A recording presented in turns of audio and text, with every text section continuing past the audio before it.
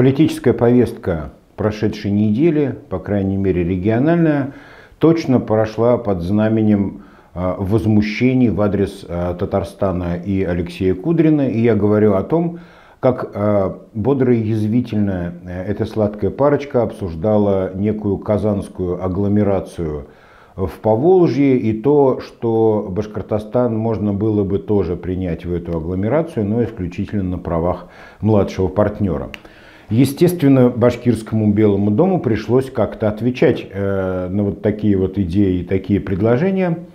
Честно говоря, ответ, который э, последовал с огромным запозданием в конце пятницы минувшей недели, этот ответ э, многих обескуражил, и я в том числе вышел некий пространный пресс-релиз э, на 8 пунктов, э, пресс-релиз правительства Республики Башкортостан, в котором э, строго обозначается Башкортостан как рай для инвесторов, категорически запрещается сравнивать Татарстан и Башкортостан по каким-либо параметрам только потому, что это неприемлемо. Вот эта несравненность Башкортостана сквозила в каждой букве этого пресс-релиза. Многие э, аналитики, прочитав этот пресс-релиз, недоумевали, э, какой частью тела был написан этот текст. В общем, конечно, это э, чрезвычайно коряво, грубо и абсолютно нелепо прозвучало. Кроме всего прочего, после выхода этого документа, конечно, напрашивается вывод о том, что дорогой Ради Фаритович, который имеет вот этот титул «дорогой», безусловно, может претендовать на обретение нового титула а именно титула «несравненный». И, соответственно, теперь э, при полном э, упоминании главы Республики Башкортостан можно говорить «дорогой, запятая несравненный Ради Фаритович».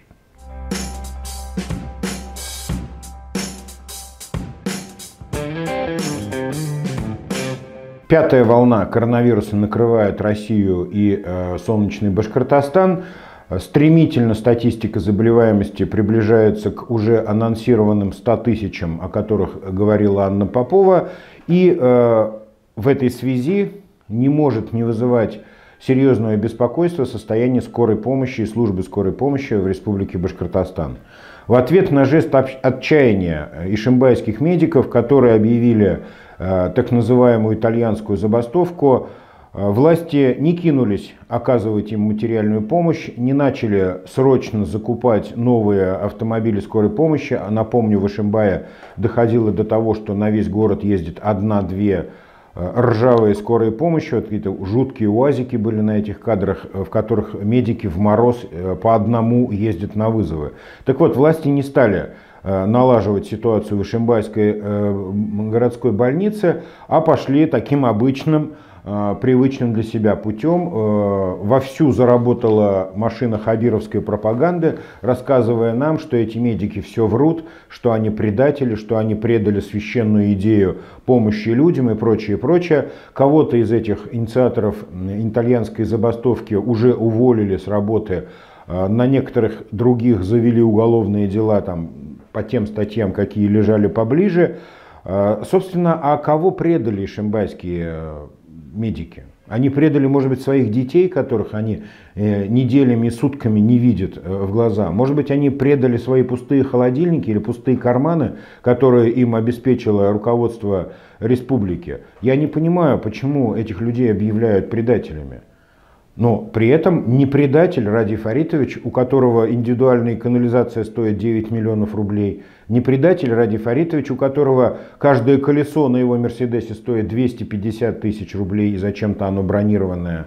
В конце концов, 500 миллионов рублей на содержание дорогого и несравненного Ради Фаритовича – это не предательство?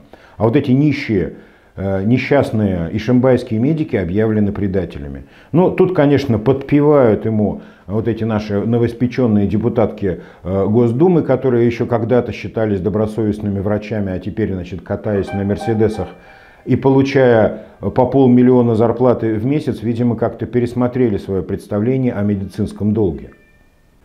К сожалению, ситуация со скорой помощью не уникальна для, для Ишимбая. Это не только локальная шимбайская проблема. Это не только проблема этого благословенного края, откуда вот эти вот всякие азаматы у нас э, вырастают до руководителей аппарата правительства. Ситуация со скорой помощью, судя по всему, стабильно плохая по всей республике. Буквально вчера из э, Уфы, из поселка Нагаева, э, нам вот э, прислали аудиозапись разговора с оператором скорой помощи. И, по-моему, э, эта аудиозапись как нельзя более точно характеризует ситуацию с скорой помощью. Ребенку больному 39 температура, скорая помощь вообще не приехала за всю ночь. А, здравствуйте, девушка. Мы в час 52 вызывали скорую на академическую.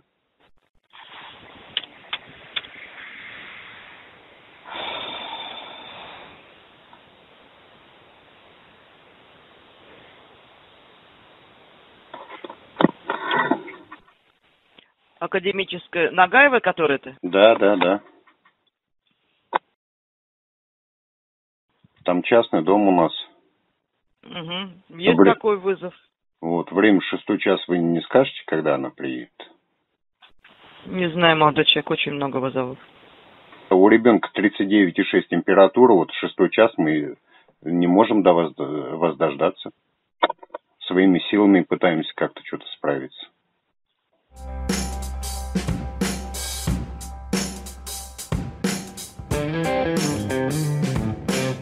24 января на минувшей неделе в Стерлитамаке было опять в очередной раз зафиксировано превышение ПДК по сероводороду и аммиаку. Оба этих э, вещества чрезвычайно опасны для здоровья людей. Жители жалуются на резкий химический запах, затруднение дыхания. Примерно такая же картина в, в эти же дни складывалась в Салавате. А еще немного ранее э, жители Сибая с недоумением обнаружили, что в их родном городе выпал какой-то желто-оранжевый снег, который их не на шутку испугал. Похоже, что власти Башкортостана имеют очень короткую память и подзабыли жаркий 2019 год, э, вновь игнорируют экологическую повестку и, судя по всему, э, не понимают, что все это может повториться – при этом всем, не обращая внимания на бедственное положение с экологией в этом вот э, треугольнике Стерлитамак, Салават и Шимбай, власти Башкортостана продолжают настаивать на насыщении особой экономической зоны Алга дополнительными химическими предприятиями. Однако с этим не все гладко. И вот стало известно, что проект переработки э, углеводородных газов э, в ароматические вещества – не прошел экологическую экспертизу и получил отрицательное заключение научно-исследовательского центра рационального природопользования и формирования экологической культуры. Эта экспертная организация проводила э, экологическую экспертизу проекта по вот переработке этих э, углеводородов. Хватит ли ума и экологической культуры властям Башкортостана, чтобы не допустить размещения подобных опасных э, производств э, в экономической зоне Алга нам неизвестно. Надеемся, что хватит. Кроме всего прочего, на прошедшей неделе обострились отношения э, башкирских властей и некоторых федеральных структур. Я говорю о э, Росприроднадзоре и госпоже Родионовой, которая так феерично сюда приезжала к нам в Башкирию. Было много планов, ее облизывали, оглаживали, поили кумысом и всячески ею восхищались. И вот тут она нанесла неожиданный удар, заявив о том, что будут проведены внеплановые проверки крупных химических предприятий в Салавате и э, о том, что у нее есть обоснованные подозрения в том, что там происходят э, систематические нарушения экологического законодательства, тем самым ставится под угрозу здоровье и жизнь жителей города Салавата. Светлана Родионова перешла, как говорится, красную линию, как теперь принято говорить, и, э, в общем-то, объявила некую войну башкирским властям в части соблюдения экологического законодательства. Э, собственно, э, нельзя не приветствовать, наверное, этого энтузиазма, потому что в любом случае, э, хоть шанс на какое-то улучшение экологической обстановки в треугольнике Стерлитовак, Салават и Шимбай появляется.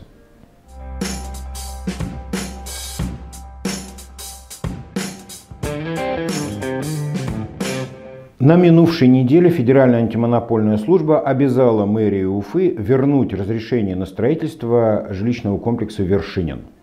Кроме всего прочего, ФАС упомянула о том, что констатирует факт того, что мэрия Уфы грубо и злостно препятствовала застройщику в реализации проекта его законных прав. Честно говоря, тут остается только развести руками.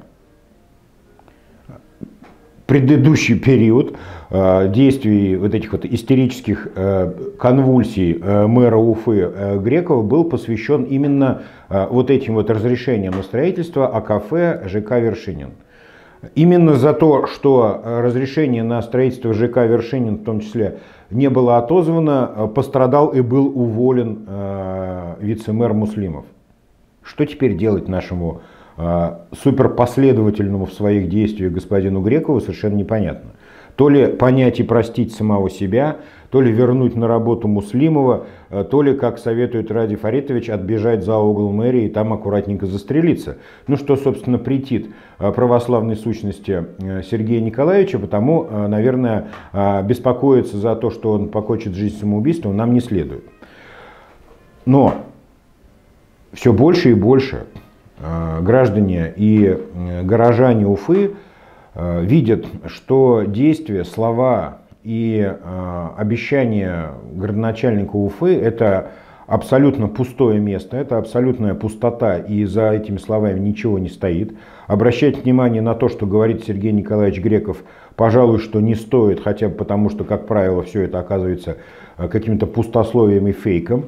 Кроме всего прочего, возникают вопросы, что теперь у нас будет дальше, например, с площадкой АКФ. Там все равно построят небоскреб, как и планируется, несмотря на все вот эти вот а, заверения, что он этого не допустит, не позволит, и там этого не случится, но а, вот э, вдруг случится. Да? На месте АКФ воздвигнут 27-этажное здание монстр, вокруг которого будет не протолкнуться от автомобилей. Причем это будет практически в парке.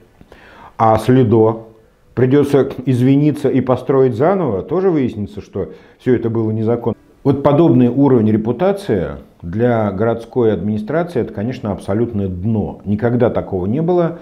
Разные у нас были а, администрации, разные у нас были мэры, ситуации были разные, но подобной дискредитации городской власти я не припоминаю. А, Греков совсем уже заврался, совсем уже запутался он не знает, что ему делать, он мечется, он предпринимает какие-то хаотические действия. И можно было бы, наверное, ему даже посочувствовать по-человечески, если бы эти действия напрямую не отражались на миллионном городе. Почему мы должны терпеть вот эти вот эксперименты? Человек, который абсолютно некомпетентен, который вообще не понимает ничего в городском устройстве, в законодательстве, в праве, который совершает вот такие вот ошибки, почему-то управляет миллионным городом. Ну, come on, как говорит э, Лена Черкова, давайте уже прекратим вот это безобразие. Хватит экспериментов. Давайте поищем нормального, компетентного, спокойного человека.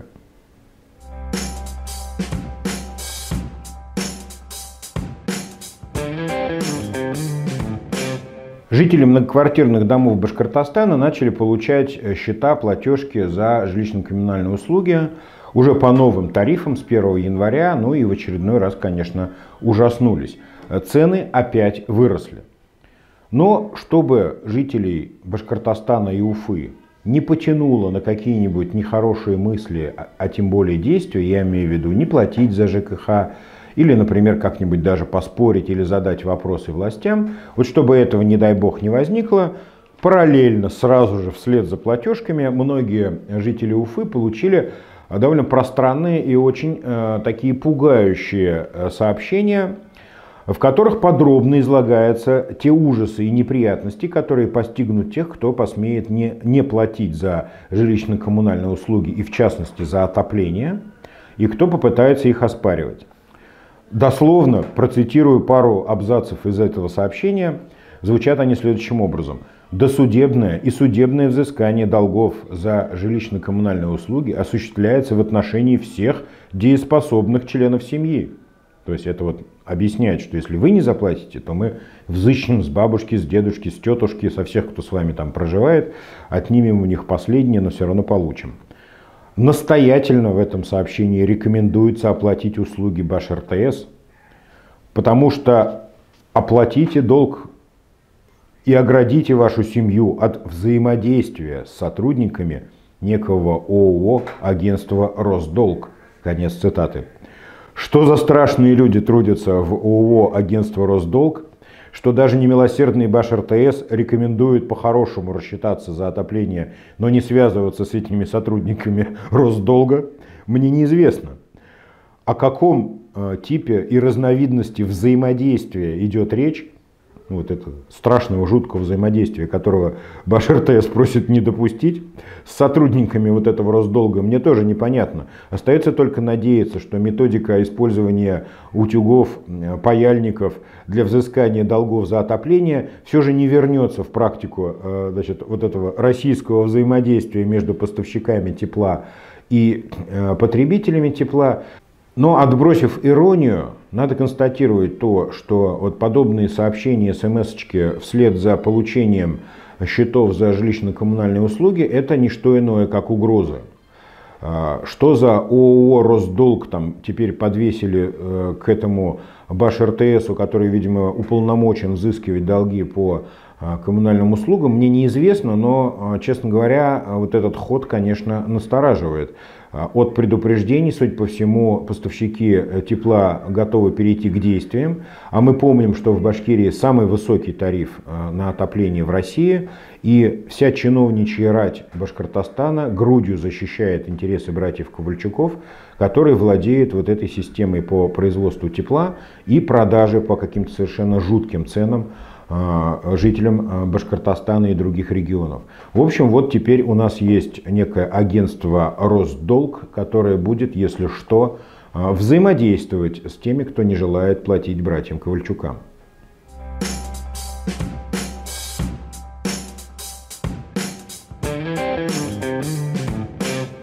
На минувшей неделе стало известно, что Верховный суд Республики Башкортостан оставил без изменения решение суда низшей инстанции о взыскании с Ольги Комлевой в пользу Министерства внутренних дел по Республике Башкортостан суммы, превышающие 1 миллион рублей.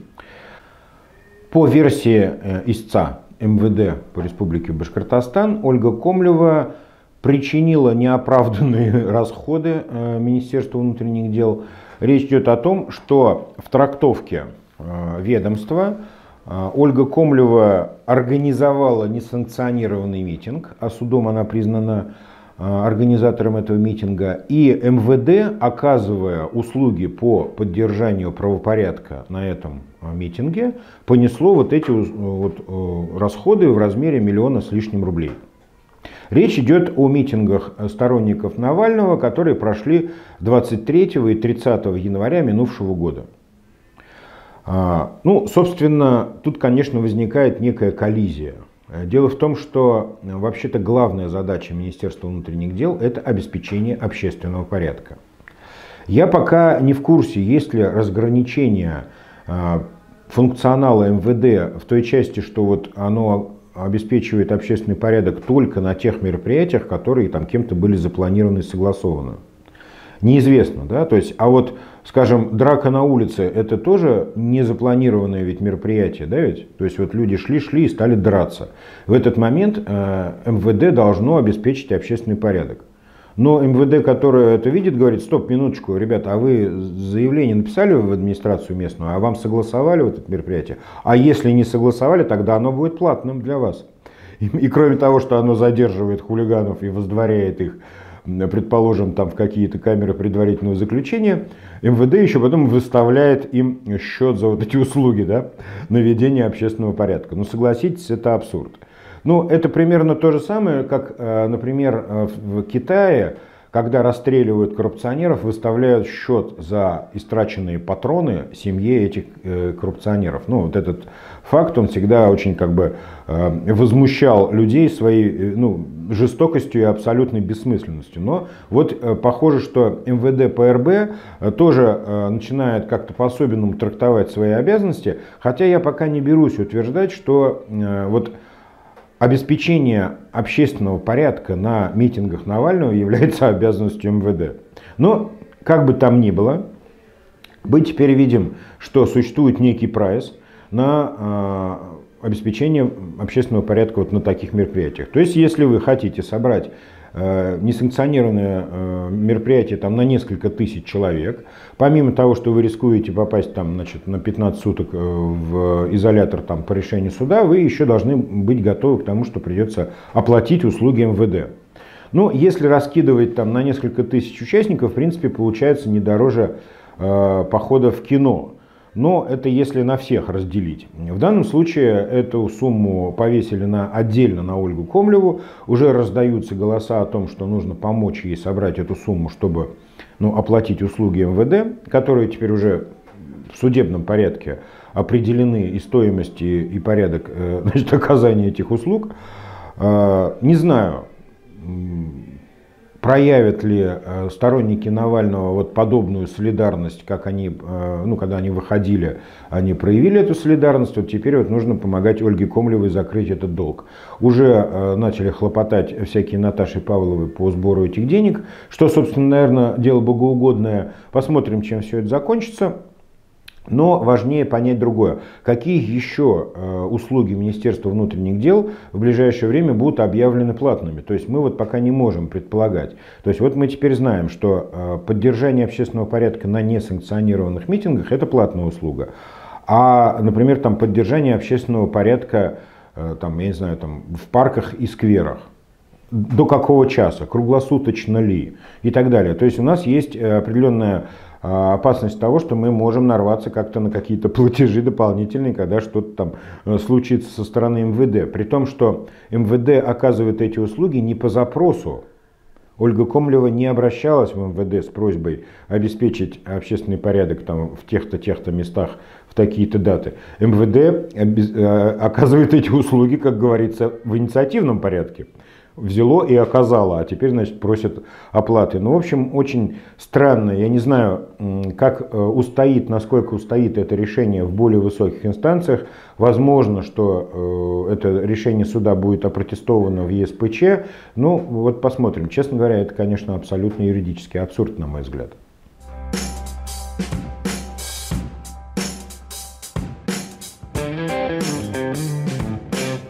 Но, как говорится, есть и хорошие новости. В Уфе открывается отделение представительства Чеченской Республики. Возглавит его Казбек Цулаев. Цели и задачи, э, по крайней мере, четко сформулированные, пока неизвестны. Э, чем будет заниматься представительство Чеченской Республики в Республике Башкортостан. Но э, есть надежда, например, на то, что в условиях ковидных ограничений тем гражданам, которым срочно нужно извиниться перед Рамзаном Ахматовичем, например, получат возможность сделать это дистанционно через представительство э, Республики Чечни э, в Республике Башкортостан. Но если говорить всерьез, э, то, конечно, вызывает много вопросов, какая тематика и какие взаимодействия между Чечней и Башкортостаном а, сподвигли на открытие этого представительства. Возможно, мы не знаем о каких-то серьезных связях между этими двумя регионами. Возможно, есть какие-то экономические заинтересованности. Ну, посмотрим. Я думаю, что в ближайшее время а, мы как-то узнаем о том, зачем и почему открывается в Башкирии это представительство, ну и, может быть, даже порадуемся этому факту.